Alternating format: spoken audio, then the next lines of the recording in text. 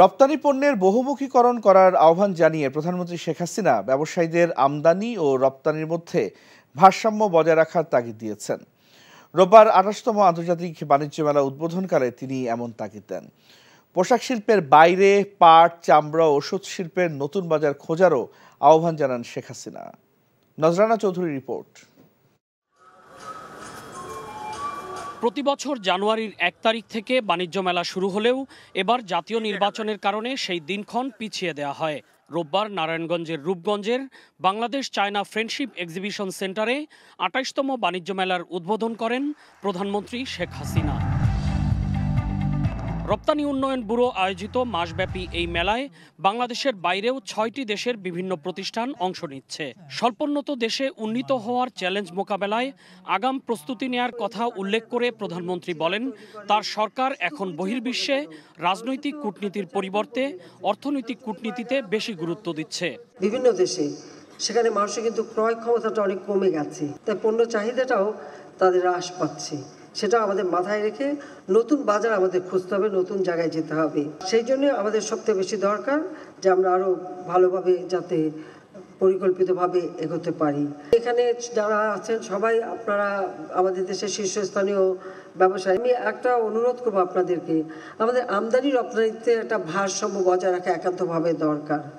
আপনারা রপ্তানি করেন, রপ্তানি করার সময় যে অর্থ ব্যবহার হয়, তার যে রিটার্নটা আসবে ঠিক চাহিদা মোতাবেক তা আসে না। সেদিকে সবাইকে আরও একটু যত্নবান হওয়ার জন্য আমি আহ্বান জানাই। প্রতিদিন সকাল দশটা থেকে শুরু হয়ে রাত নয়টা এবং সাপ্তাহিক ছুটির দিনে রাত দশটা পর্যন্ত মেলার কার্যক্রম চলবে। বাংলাদেশের রপ্তানি খাত একটি দুটি পণ্যের উপর নির্ভরশীল বলে উল্লেখ করেন প্রধানমন্ত্রী। সেক্ষেত্রে পোশাক শিল্পকে যে ধরনের সুযোগ সুবিধা দেয়া হয়, অন্য পণ্যকেও একই সুবিধা দেয়া হলে ফল ভালো দেবে বলেও মত দেন তিনি। আমরা আসলে রপ্তানিতে সুনির্দিষ্ট কয়েকটা পণ্যের উপরে নির্ভরশীল। কিন্তু ওই একটা দুটো পণ্যের উপরে নির্ভরশীল থাকলে আমাদের চলবে না। আমাদেরকে রপ্তানি বহুমুখীকরণ করতে হবে। এটা আমি বারবার বলছি এবং সেই ক্ষেত্রে কিছু সুযোগ আরও দিতে হবে। আমরা যে পণ্যটাকে সবচেয়ে বেশি সুযোগ দিচ্ছি, তারাই খুব বেশি সাফল্য করছে। তাহলে আমার অন্যান্য পণ্যগুলি কেন বাদ যাবে? তাদেরকে আমাদের সুযোগ সৃষ্টি করে দিতে হবে যাতে তারাও সেইভাবে সুযোগ পায় আরও ভালো ব্যবসা করতে। পাট, চামড়া বা আমাদের ঔষধ শিল্প থেকে শুরু করে সর্বক্ষেত্রেই আমরা কিন্তু যথেষ্ট অগ্রগামী। এবং এছাড়াও আমাদের আরও অনেক পণ্য আছে যেগুলি রপ্তানি হচ্ছে কিন্তু সেগুলি খুব সীমিত আকারে কিন্তু সেইগুলি খুঁজে বের করে আমাদের আরও কার্যকর ব্যবস্থা নিতে হবে। এ সময় শেখ হাসিনা হস্তশিল্পজাত পণ্যকে দুই হাজার চব্বিশ সালের বর্ষপণ্য হিসেবে ঘোষণা করেন। Nazrana Chowdhury NTV news Narayanganj. প্রধানমন্ত্রী শেখ হাসিনার নেতৃত্বের প্রশংসা করেছেন জাতিসংঘের মহাসচিব অ্যান্টনিও গুতেরেস। রোববার উগান্ডার ক্যাম্পালায় ন্যাম শীর্ষ সম্মেলনের সাইডলাইনে পররাষ্ট্রমন্ত্রী ডক্টর হাসান মাহমুদ জাতিসংঘের মহাসচিবের সঙ্গে সাক্ষাৎ করেন। বৈশ্বিক অর্থনৈতিক কাঠামো সংস্কারের ক্ষেত্রে বাংলাদেশের ভূমিকার প্রশংসা করেন তিনি। জাতিসংঘের বেশ কয়েকটি বৈশ্বিক প্রক্রিয়ায় চ্যাম্পিয়ন প্রধানমন্ত্রীকে অভিনন্দন জানান মহাসচিব। পরে দেশের জাতীয় সংসদ নির্বাচন নিয়ে ব্রিফ করেন পররাষ্ট্রমন্ত্রী।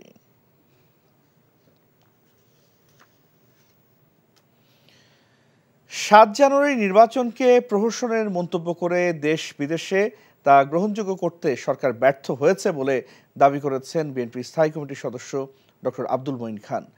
তিনি বলেন, সরকারের পায়ের তলায় মাটি নেই, যে কোনো দিন তাদের বিদায় নিতে হবে। এদিকে দ্রব্যমূল্যের ঊর্ধ্বগতির প্রতিবাদ, সংসদ বাতিল ও এক দফা দাবি আদায়ে আগামী ছাব্বিশ ও সাতাশ জানুয়ারি কালো পতাকা মিছিলের কর্মসূচি ঘোষণা করেছে বিএনপি। মিজান রহমানের রিপোর্ট। ঢাকার রিপোর্টার্স ইউনিটি মিলনায়তনে বিএনপির প্রতিষ্ঠাতা শহীদ রাষ্ট্রপতি জিয়াউর রহমানের আটাশিতম জন্মবার্ষিকীর আলোচনা সভার আয়োজন করে জাতীয়তাবাদী মুক্তিযোদ্ধা দল। আলোচনায় অংশ নিয়ে দলের স্থায়ী কমিটির সদস্য ডক্টর আব্দুল মঈন খান বলেন, উনিশশো নব্বই সালে স্বৈরাচার এরশাদ ক্ষমতা হারানোর আগের দিনও জানতেন না তাকে অচিরেই রাষ্ট্র ক্ষমতা হারাতে হবে। এখনও ক্ষমতার মোহে দেশবাসীকে বোকা বানিয়ে যারা ক্ষমতা কুক্ষিগত করে রেখেছে, তাদের কপালে স্বৈরাচার এরশাদের থেকেও ভয়াবহ পরিণতি অপেক্ষা করছে। এই সাতই জানুয়ারির প্রহসনের নির্বাচনে এই সরকার চরমভাবে পরাজিত হয়েছে জনগণে হচ্ছে একটি দেশের সরকারের ভিত্তি। সেই জনগণের ভিত্তি আজকে সরে গিয়েছে। আজকে আওয়ামী লীগ শূন্যের উপরে দাঁড়িয়ে আছে। তাদের পায়ের তলায় মাটি নেই। যে কোনো মুহূর্তে এই সরকার বিদায় নিতে বাধ্য হবে। একটি গণতান্ত্রিক পদ্ধতি এদেশে ফিরিয়ে আনার জন্য আমাদের যে আন্দোলনের যে প্রক্রিয়া, সেই প্রক্রিয়াও হবে সম্পূর্ণ গণতান্ত্রিক। এদিকে নয়াপল্টন কার্যালয়ে দলীয় কর্মসূচি ঘোষণার সংবাদ সম্মেলনে রিজভি আহমেদ বলেন, গণতান্ত্রিক বিশ্ব এ সরকারকে স্বীকৃতি দেয়নি। সরকার দেশের মানুষকে নানাভাবে বিভ্রান্ত করছে। তিনি বলেন, অভিনন্দন কিনতে ক্ষমতাসীনরা দেশে দেশে ধর্ণা দিচ্ছে। দ্রব্যমূল্যের সীমাহীন ঊর্ধ্বগতি ঊর্ধ্বগতির প্রতিবাদে দেশনেত্রী বেগম খালেদা জিয়া সহ সকল রাজবন্দীদের মুক্তি অবৈধ সংসদ বাতিল সহ এক দফার আদায়ের লক্ষ্যে কালো পতাকা মিছিল কালো পতাকা মিছিল। শুক্রবার। ছাব্বিশ তারিখ শুক্রবার এই কালো পতাকা মিছিল হবে জেলা সদরে আর সাতাশ তারিখ শনিবার বিভাগীয় শহরগুলোতে মহানগরগুলোতে এই কালো পতাকা মিছিল অনুষ্ঠিত হবে। রিজভি আহমেদ অভিযোগ করেন সিন্ডিকেটের কারণে নিত্যপণ্যের দাম নিয়ন্ত্রণ করতে পারছে না সরকার। এছাড়া চাল সিন্ডিকেটের হোতারা ক্ষমতাসীন দলের তাই দাম কমছে না বলেও অভিযোগ করেন তিনি। দাম বৃদ্ধি হলেই Mizan Rahman NTV news Dhaka. Awami League সাধারণ সম্পাদক ওবায়দুল কাদের বলেছেন বিএনপি তাদের আন্দোলনকে দেশে বিদেশে হাসি তামাশায় পরিণত করেছে। ধানমন্ডিতে আওয়ামী লীগ সভাপতির রাজনৈতিক কার্যালয়ে রোববার সংবাদ সম্মেলনে তিনি বলেন, দ্রব্যমূল্য বৃদ্ধির দায় সরকার এড়াতে পারে না, বাজার নিয়ন্ত্রণে যথাসাধ্য চেষ্টা করছে সরকার। একই সঙ্গে ওবায়দুল কাদের বলেছেন, স্বীকৃতির জন্য কারও দিকে তাকিয়ে থাকার মতো দেউলিয়া দল আওয়ামী লীগ নয়, যদিও এ নিয়ে হিংসার আগুনে জ্বলছে বিএনপি। রিপোর্টে জানাচ্ছেন মুকসিমুল আহসান।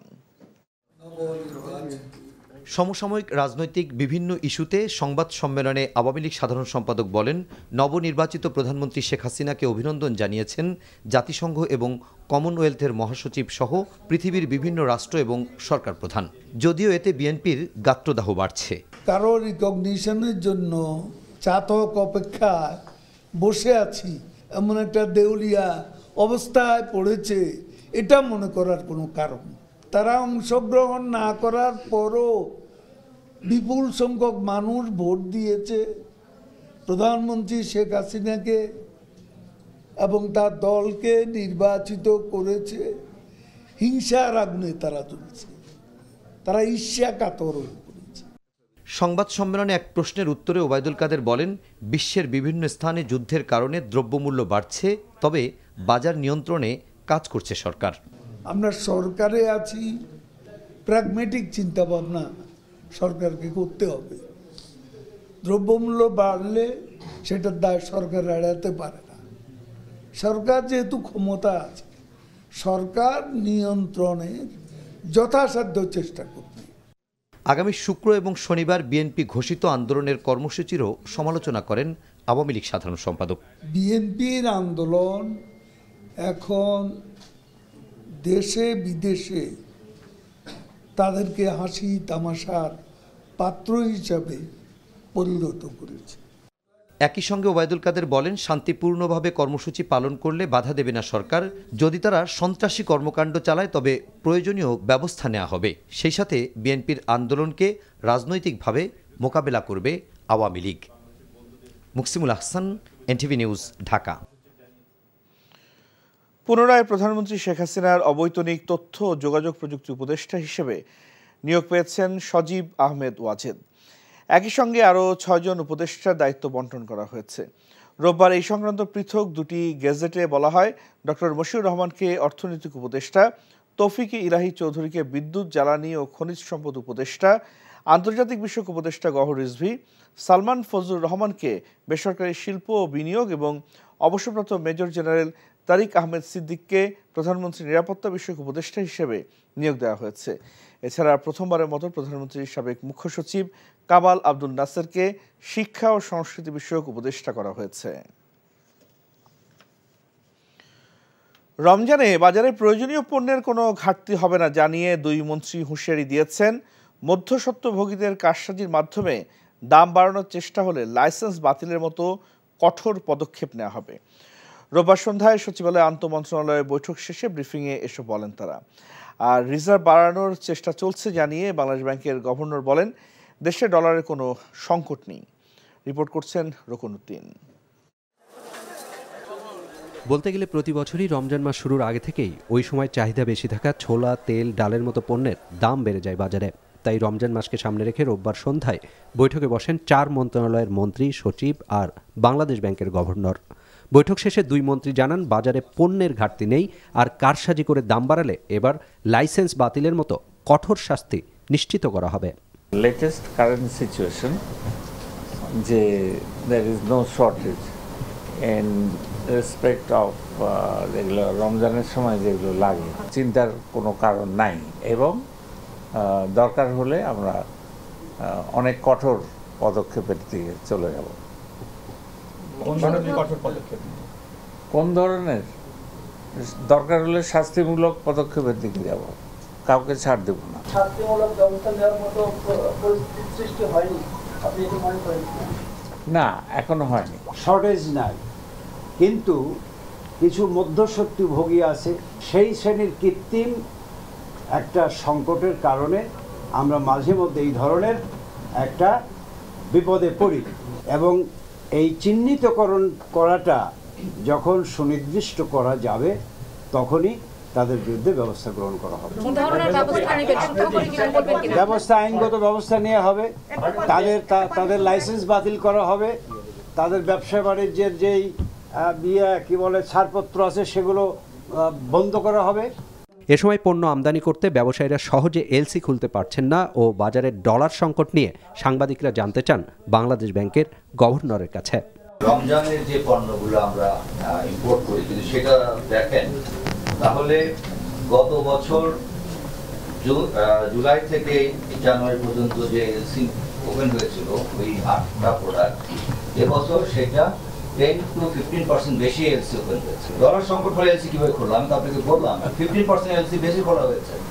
এখন কে আপনাকে বলছে ডলার সংকট সেটা আপনি আমাকে বলছেন। আমি তো বলছি যে টেন টু ফিফটিন পার্সেন্ট বেশি এলসি ওপেন হয়ে গেছে অলরেডি যে আটটা প্রোডাক্ট আমাদের দরকার এটা অলরেডি এলসি ওপেন হয়ে গেছে। ডলার সংকট থাকলে এলসি ওপেন রমজান শুরুর আগেই আন্তঃ মন্ত্রণালয় সভা পণ্যের দাম নিয়ন্ত্রণে রাখতে সরকারের সদিচ্ছার প্রকাশ জানিয়ে মানুষজনকে ধৈর্য ধরারও আহ্বান জানান সভায় উপস্থিত মন্ত্রী ও সচিবরা। Rokonuddin NTV news, Dhaka. Floor price তুলে নেয় বড় দরপতন হয়েছে পুঁজিবাজারে। একদিনে ডিএসসিতে সূচক কমেছে প্রায় একশো পয়েন্ট। দাম কমেছে বেশিরভাগ কোম্পানির শেয়ারে তবে দরপতন ঠেকাতে ডিলার অ্যাকাউন্ট থেকে শেয়ার বিক্রি না করা এবং সামর্থ্য অনুযায়ী শেয়ার কেনার ঘোষণা দিয়েছে শীর্ষ ব্রোকার হাউসের প্রধান নির্বাহীরা। হাসানুল শাওনের রিপোর্ট আঠারো মাস পর ফ্লোর প্রাইস বা শেয়ারের দাম কমার সর্বনিম্ন সীমা তুলে নিয়েছে নিয়ন্ত্রক সংস্থা, Bangladesh Securities and Exchange Commission BSEC বৃহস্পতিবার এ ঘোষণা দেওয়ার পর রোববারই এটি কার্যকর হয়।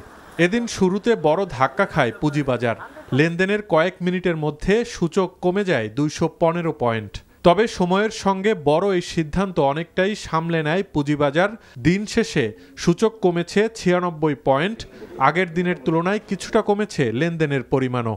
যেহেতু মানে ফ্লোর প্রাইসটা লিফটেড হয়েছে তো এখানে অনেক বড় বিনিয়োগকারী আছে যারা একটু এখনও সাইডওয়েতে আছেন।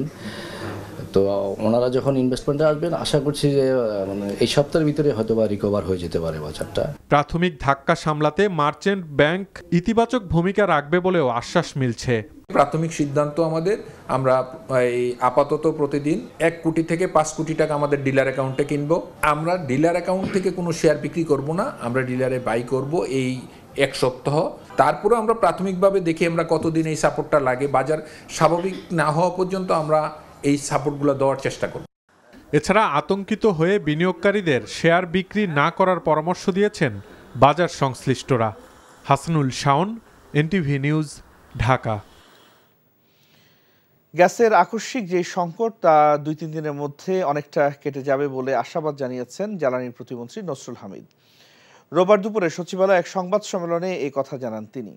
মহেশখালীতে এলএনজি সরবরাহ করা দুটি এফএসআর ইউ এর মধ্যে কারিগরি ত্রুটির কারণে একটি থেকে গ্যাস সরবরাহ সাময়িকভাবে বন্ধ হয়ে যায় এবং আরেকটি নিয়মিত রক্ষণাবেক্ষণের জন্য বন্ধ ছিল। ফলে গ্যাসের এই সংকট তৈরি হয় বলে জানান প্রতিমন্ত্রী। বর্তমানে দুটি চালু রয়েছে, দু তিন দিনের মধ্যে সরবরাহ স্বাভাবিক হবে বলে জানান তিনি।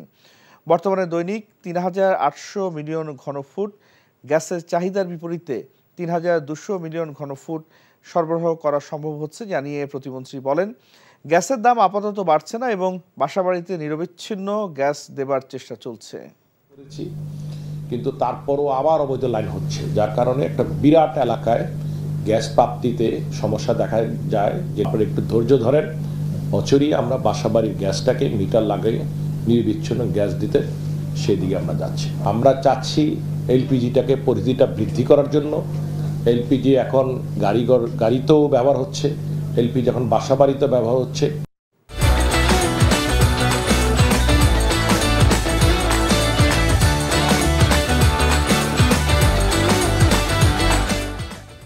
ভারতের অযোধ্যায় পাঁচশো বছরের পুরনো বাবরি মসজিদ ভেঙে নির্মাণ করা রাম মন্দিরের উদ্বোধন হচ্ছে আজ। এনডিটিভি বলছে, সোমবার স্থানীয় সময় বেলা বারোটায় সাত হাজার অতিথির উপস্থিতিতে রাম মন্দির উদ্বোধন করবেন ক্ষমতাসীন হিন্দুত্ববাদী দল বিজেপি দলীয় প্রধানমন্ত্রী নরেন্দ্র মোদী। এছাড়া সন্ধ্যায় মন্দির ঘিরে দশ লাখ প্রদীপ প্রজ্বলিত করা হবে। মন্দিরটি নির্মাণেই ব্যয় হয়েছে এক হাজার আটশো কোটি রুপি। মন্দিরের কাছে একটি বিমানবন্দর নির্মাণে খরচ হয়েছে আরও দেড় হাজার কোটি রুপি। এছাড়া মন্দির ঘিরে রেল স্টেশন, নদী সংস্কার, সড়ক ও হোটেল নির্মাণ, সৌরশক্তি সরবরাহ, ইন্টারনেট ব্যবস্থা করতে মোট খরচ হয়েছে তিরিশ হাজার পাঁচশো সত্তর কোটি রুপি। প্রধানমন্ত্রী নরেন্দ্র মোদী বলেছেন, ভগবান রাম হয়তো এই কাজটুকু করার জন্যই তাকে পৃথিবীতে পাঠিয়েছেন। তবে এই অনুষ্ঠানে যাচ্ছেন না ইন্ডিয়ার জোটভুক্ত বিরোধী দলগুলোর নেতারা। তারা বলছেন, হিন্দু ধর্মে তারা বিশ্বাসী, হিন্দুত্ববাদে নয়। ভারতীয় কংগ্রেসের নেতা রাহুল গান্ধীর অভিযোগ, মন্দির ঘিরে রাজনৈতিক ফায়দা নিতে চায় বিজেপি। প্রবাসের খবর। দুলাল বেহুন্দুকে সভাপতি এবং মোস্তফা কামালকে সাধারণ সম্পাদক করে দোহার উপজেলা সমিতি ইউএসএ ইনকের নবগঠিত কার্যকরী পরিষদের বর্ণাঢ্য অভিষেক অনুষ্ঠিত হয়েছে। নিউ একটি হোটেলে এই উপলক্ষে অনুষ্ঠানের আয়োজন করা হয়। এতে প্রধান অতিথি ছিলেন বাংলাদেশ সোসাইটি ইনকের সভাপতি আব্দুর রব মিয়া। অনুষ্ঠানের আহ্বায়ক ছিলেন শাহিনুর রহমান বিপ্লব এবং প্রধান সমন্বয়কারী ছিলেন শফিউদ্দিন সফা। অনুষ্ঠানের সদস্য সচিব ছিলেন আব্দুল আজিজ। শেষে মনজ্ঞ সাংস্কৃতিক অনুষ্ঠান পরিবেশন করা হয়। দুলাল বেহুন্দুকে সভাপতি এবং মোস্তফা কামালকে সাধারণ সম্পাদক করে দোহার উপজেলা সমিতি ইউএসএ ইনকের নবগঠিত কার্যকরী পরিষদের বর্ণাঢ্য অভিষেক অনুষ্ঠিত হয়েছে। নিউ ইয়র্কের একটি হোটেলে এই উপলক্ষে অনুষ্ঠানের আয়োজন করা হয়। এতে প্রধান অতিথি ছিলেন বাংলাদেশ সোসাইটি ইনকের সভাপতি আব্দুর রব মিয়া। অনুষ্ঠানের আহ্বায়ক ছিলেন শাহিনুর রহমান বিপ্লব এবং প্রধান সমন্বয়কারী ছিলেন শফিউদ্দিন সফা। অনুষ্ঠানের সদস্য সচিব ছিলেন আব্দুল আজিজ। শেষে মনজ্ঞ সাংস্কৃতিক অনুষ্ঠান পরিবেশন করা হয়।